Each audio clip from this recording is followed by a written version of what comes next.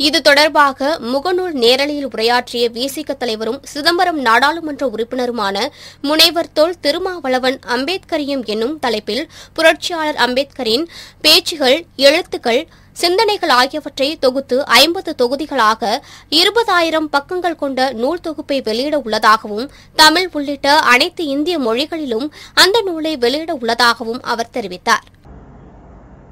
அன்பார்ந்த தோழர்களே என் உயிரின் உயிரான விடுதலை சிறுத்தைகளே உங்கள் அனைவருக்கும் என்னுடைய பணிவார்ந்த வணக்கத்தை தெரிவித்துக் கொள்கிறேன். ஒரு நீண்ட இடைவெளிக்கு பிறகு முகநூல் நேரலை வாயிலாக உங்களை சந்திப்பதில் மகிழ்ச்சி அடைகிறேன். சில வாரங்களுக்கு முன்பு நான் ஒரு அறிவிப்பை செய்திருந்தேன். ஜெய்பீம் டூ பாயிண்ட் ஜீரோ என்னும் ஒரு திட்டத்தை நமது கட்சியின் துணை பொதுச் செயலாளர் கௌதம சன்னா அவர்களின் முயற்சியில் முன்னெடுக்க இருக்கிறோம். அம்பேத்கரியம் என்னும் தலைப்பில் புரட்சியாளர் அம்பேத்கர் அவர்களின் பேச்சுகள் எழுத்துக்கள் மற்றும் அவருடைய சிந்தனைகள் யாவற்றையும் தொகுத்து ஐம்பது தொகுதிகளாக இருபதாயிரம் பக்கங்களில் புத்தகங்களை நாம் வெளியிட இருக்கிறோம். ஜெய்பீம் பதிப்பகத்தின் மூலம் இந்த திட்டத்தை நாம் நிறைவேற்ற இருக்கிறோம். இதனை நிறைவேற்றுவதற்கென்று ஜெய்பீம் ஃபவுண்டேஷன் என்னும் அறக்கட்டளை ஒன்றை நிறுவியிருக்கிறோம். அந்த அறக்கட்டளையின் தலைவராக நானும் நிர்வாக இயக்குநராக கட்சியின் துணை பொதுச் செயலாளர் எழுத்தாளர் கௌதம சன்னா அவர்களும் பொறுப்பிலிருந்து இந்த பணியை முன்னெடுக்க இருக்கிறோம். ஆக ஜெய்பீம் ஃபவுண்டேஷன் என்னும் அறக்கட்டளை ஜெய்பீம் பதிப்பகத்தின் மூலம் அம்பேத்கரியம் ஐம்பது தொகுதிகள் என்னும் நூல் தொகுப்பு வெளியிட இருக்கிறோம் என்பதுதான் அந்த அறிவிப்பு. புரட்சியாளர் அம்பேத்கர் அவர்களின் பேச்சுகள் எழுத்துக்கள் ஏற்கனவே தமிழ் உள்ளிட்ட இந்திய மொழிகள் யாவற்றிலும் வெளியாகி இருக்கின்றன புரட்சியாளர் அம்பேத்கரின் உதவியாளராக இருந்த வசந்த் மோன் அவர்களின் தலைமையில் மராட்டிய அரசு ஒரு குழுவை நியமித்து மராட்டிய அரசின் செலவில் அவருடைய பேச்சுகளையும் எழுத்துக்களையும் தொகுக்க கட்டளையிட்டது. அதன்படி அவர் அதை மேற்கொண்டார். அதன் பின்னர் இந்திய ஒன்றிய அரசின் கட்டுப்பாட்டில் இருக்கிற அம்பேத்கர் ஃபவுண்டேஷன் அதாவது சமூக நீதித்துறையின் அந்த அமைச்சகத்தின் கீழ் இயங்கக்கூடிய டாக்டர் அம்பேத்கர் ஃபவுண்டேஷன் என்னும் அமைப்பு புரட்சியாளர் அம்பேத்கரின் பேச்சுகளையும் எழுத்துக்களையும் தொகுத்து இந்திய மொழிகள் யாவற்றிலும் வெளியிட முன்வந்ததை நாம் அறிவோம். ஏறத்தாழ இருபத்தோரு தொகுதிகளாக ஆங்கிலத்தில் அவை வெளிவந்திருக்கின்றன.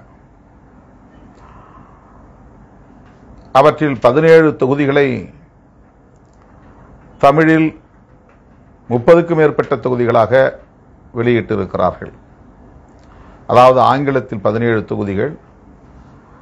அவை தமிழில் மொழியாக்கம் செய்யப்பட்ட பிறகு அவை முப்பதுக்கும் மேற்பட்ட தொகுதிகளாக வெளிவந்திருக்கின்றன. பதினேழுக்கு பிறகு அந்த இருபத்தோரு தொகுதிகளில் எஞ்சிய மற்ற நான்கு தொகுதிகள் தமிழில் இன்னும் வெளியாகவில்லை. அதிலே இரண்டு மராத்தியில் வெளியாகி இருக்கின்றன இருபத்தோரு தொகுதிகளில் பத்தொன்பது ஆங்கிலத்திலும் இரண்டு மராத்தியிலும் வெளியாகி இருக்கின்றன ஆக இந்த நிலையில் புரட்சியாளர் அம்பேத்கர் அவர்களின் எழுத்துக்களையும் பேச்சுகளையும் நாம் அம்பேத்கரியம் என்னும் பெயரில் தொகுக்கிறோம். இதில் என்ன சிறப்பு அல்லது என்ன வேறுபாடு என்றால் புரட்சியாளர் அம்பேத்கருடைய எழுத்துக்களும் பேச்சுகளும் கிடைக்க கிடைக்க ஒவ்வொரு தொகுதியாக அச்சிட்டு வெளியிட்டார்கள். புரட்சியாளர் அம்பேத்கர் அவர்கள் விரும்பியபடி அவை புத்தகங்களாக்கப்படவில்லை என்பது தெரிய வருகிறது. ஒரு புத்தகத்தை எப்படி எழுத வேண்டும் வெளியிட வேண்டும் என்பதை கூட அவரே தீர்மானித்திருக்கிறார். புத்தகத்திற்கு தலைப்பும் இட்டிருக்கிறார். அந்த புத்தகத்தில் என்னென்ன உள்ளடக்கம் என்பதையும் பட்டியல்படுத்தி இருக்கிறார் கண்டென்ட்ஸ் சாப்டர் பை சாப்டர் அந்த வரிசையில் புத்தகங்கள் வெளியாகவில்லை என்பது தெரிய வருகிறது. இந்த நிலையில் அவர் விரும்பியதைப் போல புத்தகங்களை மறுசீரமைப்பு செய்வது.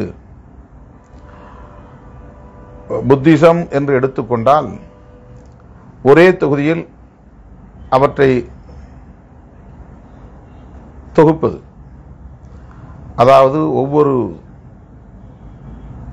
ஆங்கில தொகுதியிலும் வெவ்வேறு தலைப்புகளின் கீழான கட்டுரைகள் இடம்பெற்றிருக்கின்றன.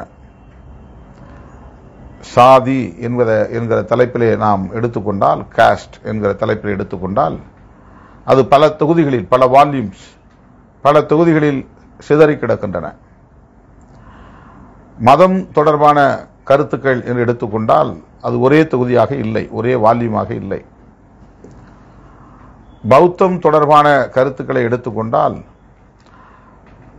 வெவ்வேறு தொகுதிகளில் வெவ்வேறு வால்யூம்ஸ் தொகுதிகளில் இடம்பெற்றிருக்கின்றன.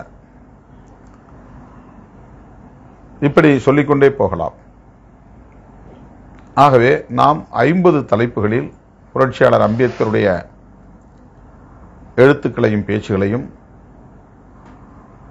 ஐம்பது தொகுதிகளாக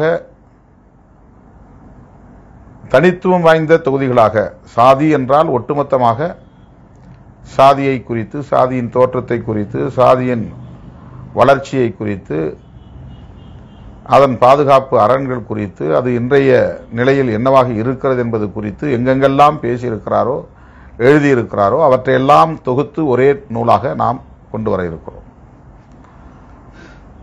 அதை போல அறிவியல் தொடர்பாக தொழில் வளர்ச்சி தொடர்பாக அவர் என்னென்ன சிந்தனைகளை வெளிப்படுத்தி இருக்கிறார் செயல் திட்டங்களை நடைமுறைப்படுத்தி இருக்கிறார் எங்கெங்கே அவர் உரையாற்றி இருக்கிறார் எங்கெங்கே அவர் எழுதியிருக்கிறார் எந்தெந்த ஏடுகளில் அவை வெளியாகி இருக்கின்றன போன்ற விவரங்களோடு அனைத்தையும் தொகுத்து ஒரே தொகுதியாக கொண்டு வருவது. ஆகவே ஐம்பது தலைப்புகளில் ஐம்பது தொகுதிகளாக ஒரு தலைப்பில் சொல்லப்படுகிற அனைத்தும் ஒரே தொகுதியில் இடம்பெற்றிருக்கும். வெவ்வேறு தொகுதிகளில் சிதறி கிடக்காமல். இப்படி இந்த நூல்களை தொகுத்து இலகுவாக எல்லோரும் படித்து பயன்பெறக்கூடிய வகையில் புரட்சியாளர் அம்பேத்கருடைய சிந்தனைகளை ஒரு வரைமுறைப்படுத்தப்பட்ட அல்லது வரையறைகளுக்கு உட்படுத்தப்பட்ட வரிசையிலே காண்பதும் கற்பதும் அவசியமானது. அப்போதுதான் அம்பேத்கரின் முழு பரிமாணங்களை நம்மால் புரிந்து கொள்ள முடியும்.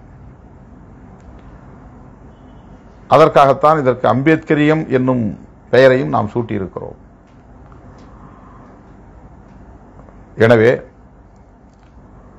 இந்த திட்டத்தை நடைமுறைப்படுத்துவது ஒரு கடினமான பணி பொருட்செலவு மிகுந்த பணி நீண்ட கால அவகாசம் தேவைப்படுகிற பணி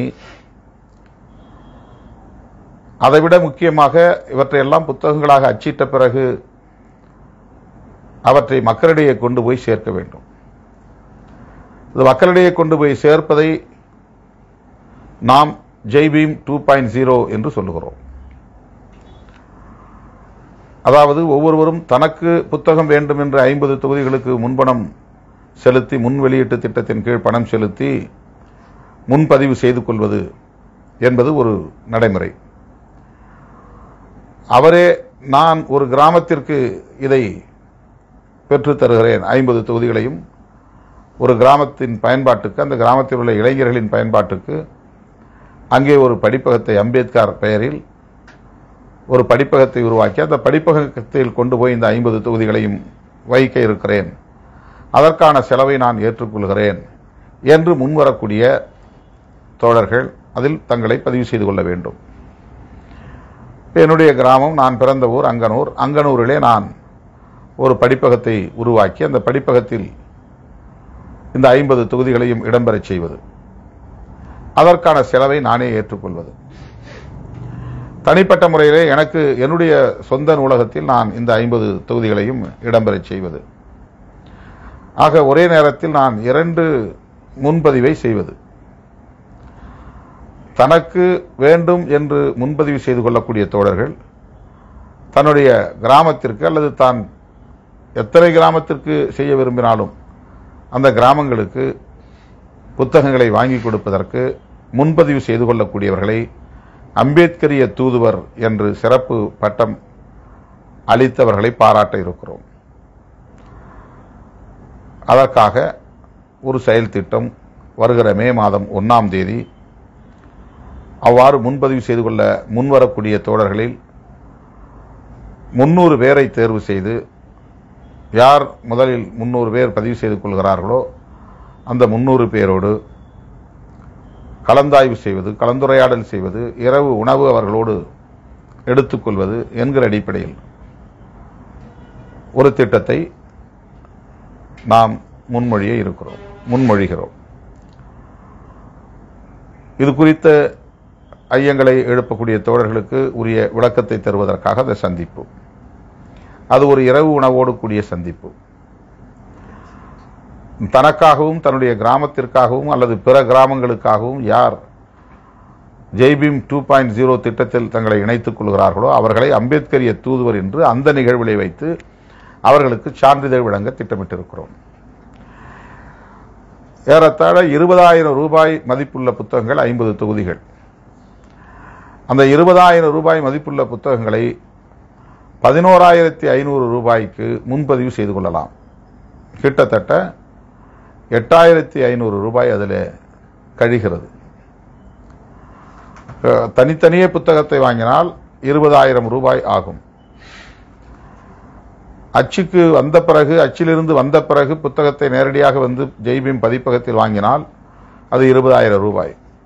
முன்பதிவிலே இப்போதே முன்பதிவில் தங்களை இணைத்து கொண்டால் அவர்களுக்கு ஒரே தவணையாக கட்டினால் பதினோராயிரத்தி ஐநூறு மூன்று தவணைகளாக கட்டினால் நாலாயிரம் நாலாயிரம் நாலாயிரம் என்று பன்னிரெண்டாயிரம் அதற்கு எப்படி அந்த பணத்தை செலுத்துவது என்பதற்கான விவரம் இருக்கிறது. அது இணைய இணைய ஊடகங்களில் பதிவு செய்யப்படும். அது ஜெய்பீம் ஃபவுண்டேஷன் டாட் நெட் என்கிற அந்த இணையதளத்தில் நீங்கள் சர்ச் பண்ணலாம். ஜெய்பீம் ஃபவுண்டேஷன் டாட் நெட் இந்த திட்டத்திற்கு முழுமையான ஒத்துழைப்பை நல்க வேண்டும். ஏதாவது கிராமத்திற்கு செய்ய வேண்டும் என்று எண்ணுகிறவர்கள் சமூகத்திற்கு செய்ய வேண்டும் என்று எண்ணுகிறவர்கள் புரட்சியாளர் அம்பேத்கரின் கருத்துக்களை மக்களிடத்திலே கொண்டு போய் சேர்ப்பது மிகப்பெரிய பணி. மிகப்பெரிய பணி. ஆயிரத்தி தொள்ளாயிரத்தி தொண்ணூறுகளில் சொல்லப்போனால் அவருடைய நூற்றாண்டு காலத்தில் இந்தியா முழுவதும் மிகப்பெரிய எழுச்சி ஏற்பட்டது. அதுவரையில் அம்பேத்கரை பற்றி பேசுவதற்கு இந்த நாட்டில் தலித்துகளை தவிர வேறு யாரும் இல்லை. அவருடைய நூற்றாண்டு காலத்தில் அந்த நேரம் விபி சிங் அவர்கள் இந்தியாவின் பிரதமர் இருக்கையிலே இருந்த நேரம் ராம்லாஸ் பாஸ்வான் அவர்களும் அவரோடு வலதுகரமாக இருந்த நேரம். ஆகவே அந்த நூற்றாண்டு கொண்டாடிய காலகட்டத்தில் புரட்சியாளர் அம்பேத்கரின் சிந்தனைகள் பரவுவதற்கான ஒரு பேரெழுச்சி உருவானது. மராட்டிய அரசு அவருடைய நூல்களை தொகுக்க முன்வந்தது. அம்பேத்கர் ஃபவுண்டேஷன் அந்த பொறுப்பை பின்னாளில் ஏற்றுக்கொண்டது. ஆனால் இப்போது பிஜேபி அரசாங்கத்தில் அம்பேத்கர் ஃபவுண்டேஷனுக்கு நிதியே ஒதுக்கப்படவில்லை. அண்மையிலே நான் நாடாளுமன்றத்தில் கூட அதை சுட்டிக்காட்டி கண்டித்திருக்கிறேன்.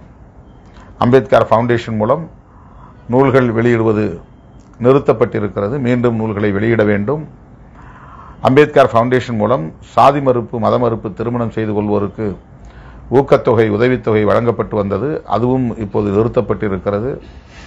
காரணம் ஒட்டுமொத்தத்தில் அம்பேத்கர் ஃபவுண்டேஷனுக்கு நிதி ஒதுக்கீடே இல்லை என்கிற ஒரு சூழலை இந்த அரசு ஏற்படுத்தியது நியாயமா என்ற கேள்வியை நான் நாடாளுமன்றத்தில் எழுப்பினேன். அம்பேத்கர் கனவுகளை நனவாக்குகிறார் மோடி என்றெல்லாம் இப்போது விவாதம் நடக்கிறது. ஆனால் அம்பேத்கரின் சிந்தனைகளை பரப்புகிற அம்பேத்கர் ஃபவுண்டேஷனை மூடிக்கொண்டிருக்கிறார்கள் அம்பேத்கர் பெயரையும் அம்பேத்கர் புகழையும் தங்களுக்கு சாதகமாக்கிக் கொள்ள வேண்டும் என்று துடிக்கிற சனாதன சக்திகள் அம்பேத்கரின் சிந்தனைகளை மக்களிடத்திலே கொண்டு போய் சேர்ப்பதற்கு முட்டுக்கட்டை போடுகிறார்கள். இதுதான் அவர்களின் முரண். இதை நாம் புரிந்து கொள்ள வேண்டும்.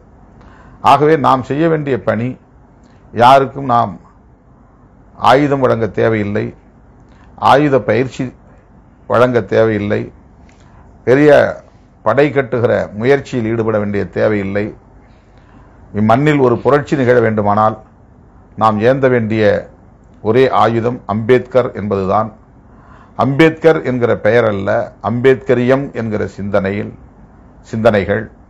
ஆக அம்பேத்கரியம் என்கிற சிந்தனைகள் என்பது ஏதோ மிகவும் படித்த மேதைகள் பல்கலைக்கழகம் வரையில் சென்று படித்த ஞானிகள் தான் அதை புரிந்து கொள்ள முடியும் விவாதிக்க முடியும் என்று கருதாமல் படிக்கத் தெரிந்த அனைவராலும் அம்பேத்கரியத்தை உள்வாங்கிக் கொள்ள முடியும்.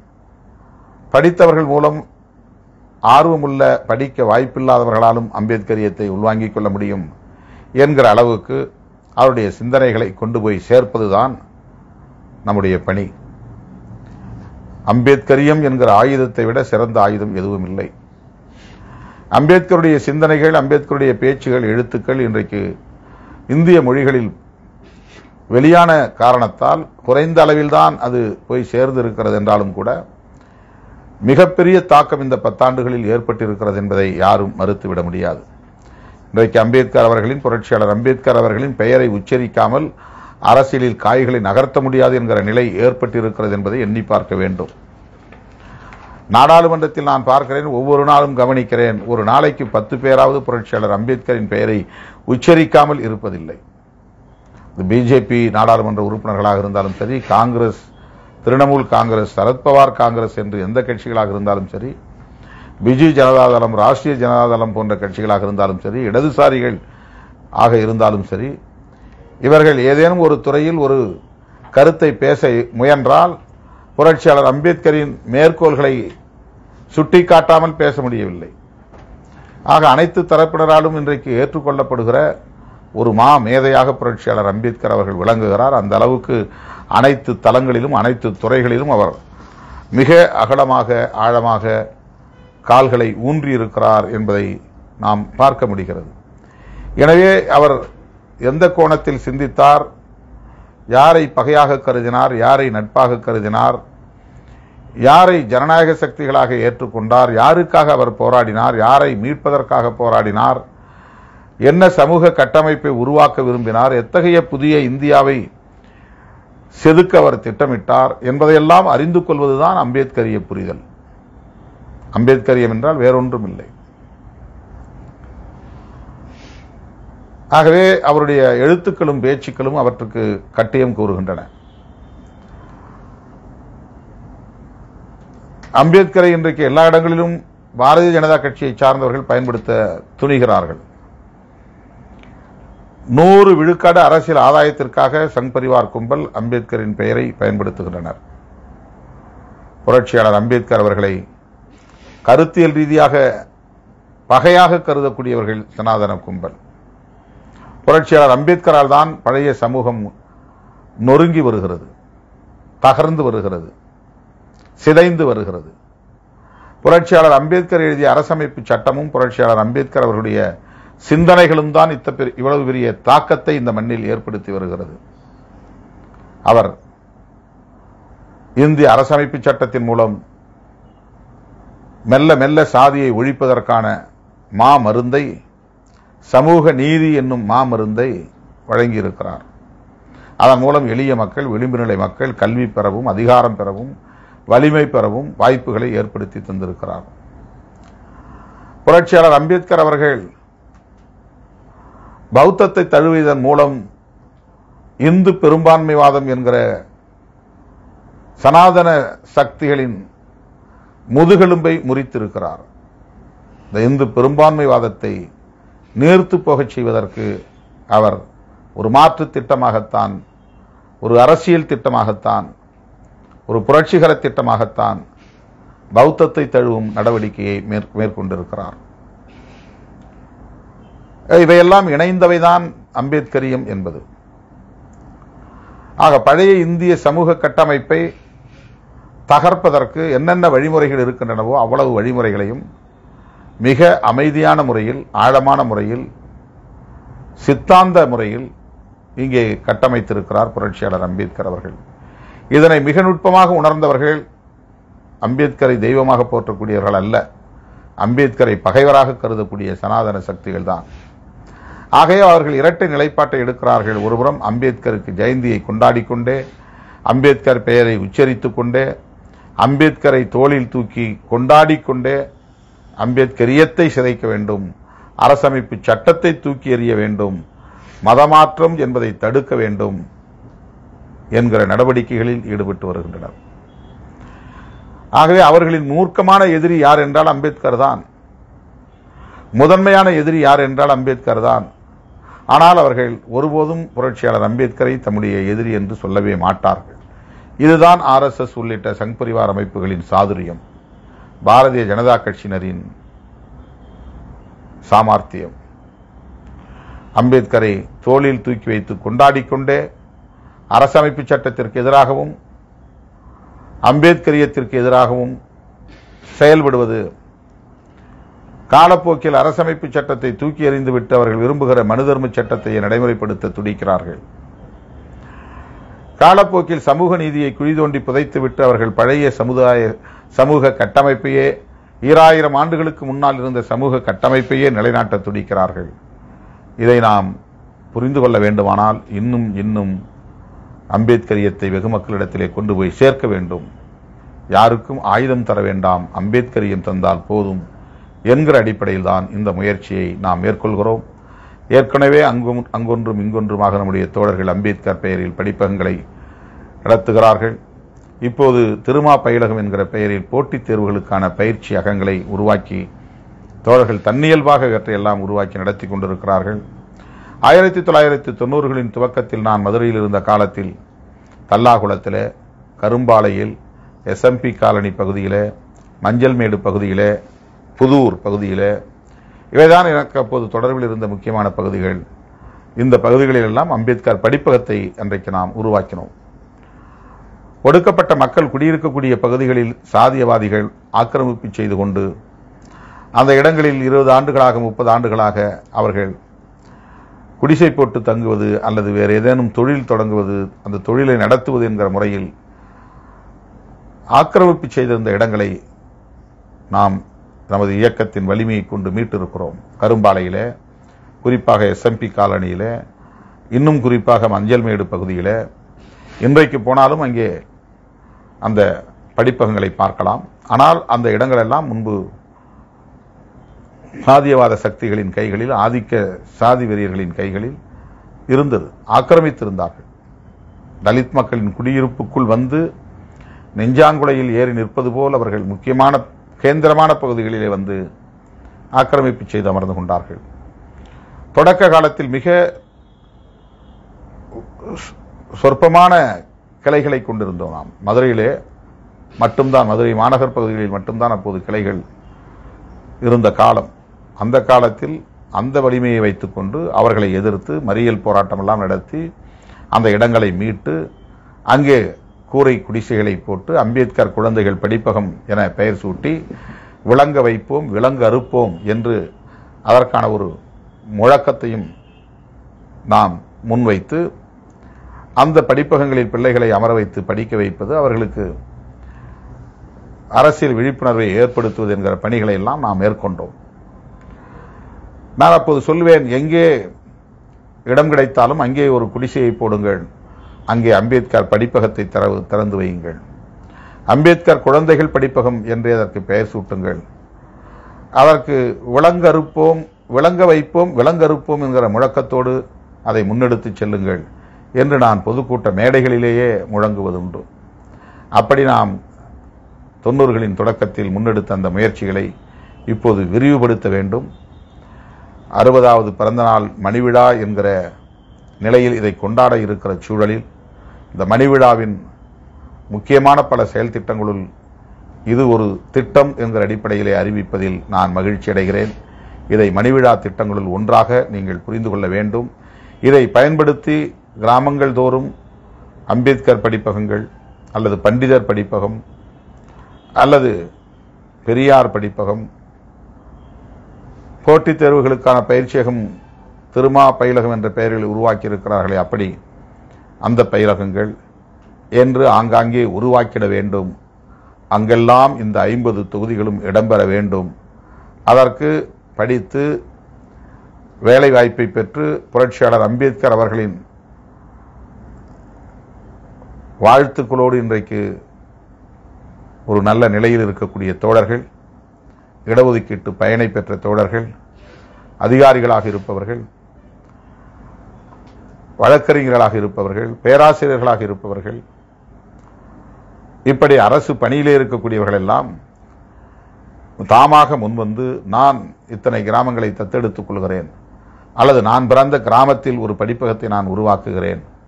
அந்த படிப்பகத்தில் இந்த புத்தகங்களை வைப்பதோடு மட்டுமில்லாமல் அங்கே பிள்ளைகளுக்கு பாடம் சொல்லி தரக்கூடிய ஒரு சூழலை நான் ஏற்படுத்துவேன். அதை தொடர்ந்து நடத்துவதற்குரிய முயற்சிகளை மேற்கொள்வேன். எக்காலத்திலும் இடை நிற்காமல் நின்று போகாமல் பார்த்து கொள்வேன் என்கிற உறுதியை எடுத்துக்கொண்டால் அவர்கள்தான் அம்பேத்கரிய தூதுவர்கள். அவர்களை பாராட்டித்தான் இந்த அம்பேத்கரிய தூதுவர் என்கிற சான்றிதழ் வழங்க இருக்கிறோம். எனவே இது ஒரு மாபெரும் மக்கள் இயக்கமாக கொண்டு போய் சேர்க்க அம்பேத்கரியம் என்கிற ஆயுதத்தை மக்களின் கைகளில் ஒப்படைக்க நாம் முன்னெடுத்திருக்கிற மணிவிழா காலத்து முயற்சி ஜெய்பீம் டூ பாயிண்ட் ஜீரோ என்கிற இந்த திட்டம் அம்பேத்கரியம் ஐம்பது தொகுதிகள் என்கிற சிந்தனை தொகுப்பு.